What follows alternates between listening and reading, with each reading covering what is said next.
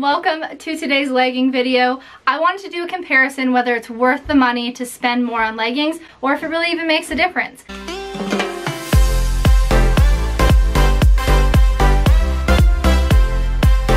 So I am testing out two brands, one on the more expensive side and then one on the cheaper side that I found on Amazon. I'm testing out each company's like little like light with a pattern, so that would be like equal.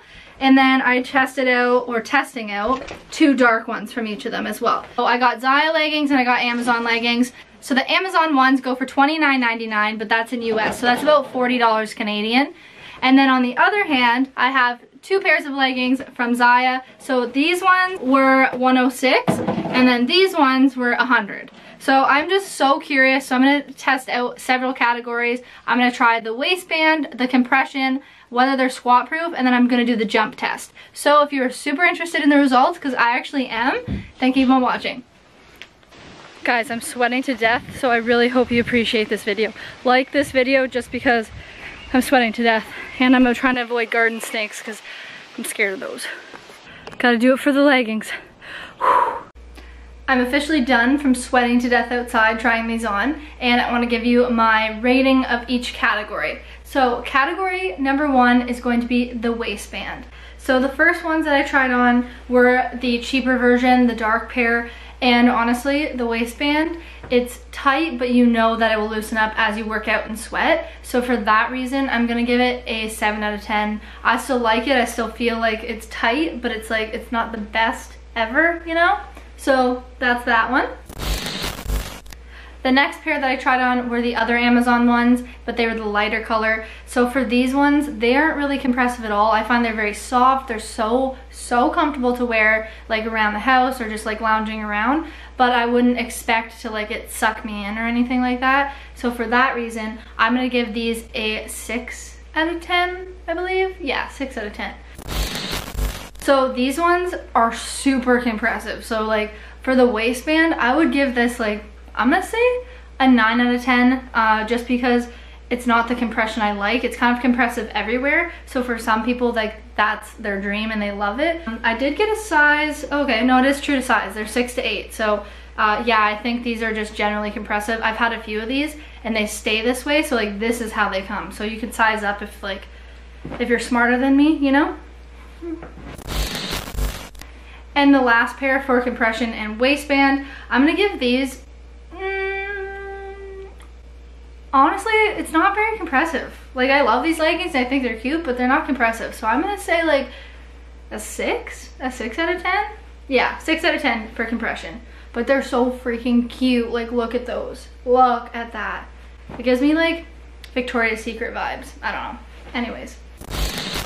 Okay, so the next category I'm to rate is how squat proof they were. So the first pair of the dark leggings, I'm to actually give them an 8 out of 10 because I, I find that I never really see my underwear. I do find if I wear really bright colors, I will be able to see them, but in the gym, you don't. In the broad daylight, in the sunshine, bending over, then yes. So they can't be like a perfect score, but that's what I'd give those ones.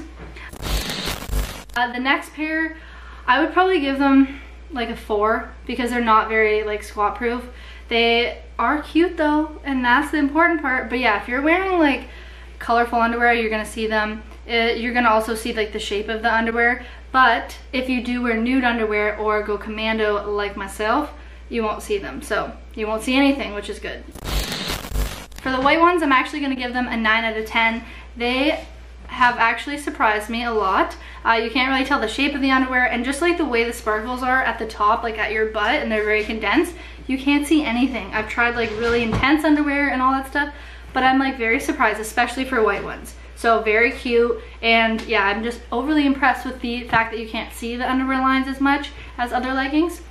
So yeah, 9 out of 10.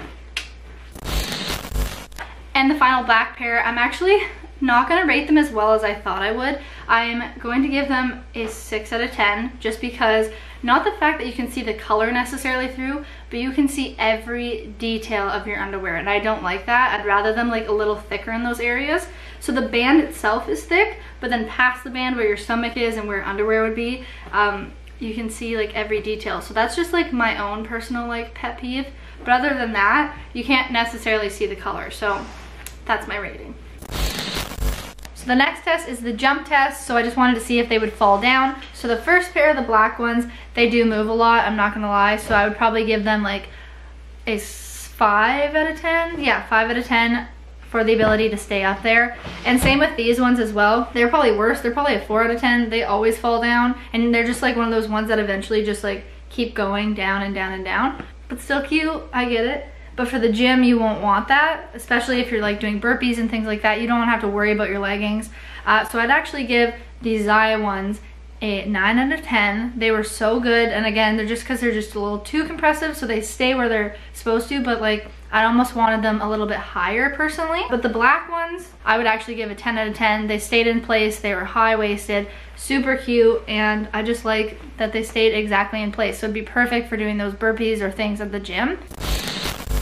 So overall, I think the ones that stay up and stay in place and are squat proof are obviously made for the gym. They're good for the gym. And the ones that aren't are still good for lounge. But I think that's the overall difference that I've like learned from this video is mostly that certain ones are good for the gym, certain ones aren't. That doesn't make the legging like better or worse necessarily. It's just more like what's your lifestyle. If you never work out, then like you might as well spend $40 versus 100 but that's just like my own opinion. But for someone that is like very active and whatever, it is worth it for me to spend that money because if I only bought $40 leggings and they all just fell down and weren't squat proof, I'll be pretty sad, you know? So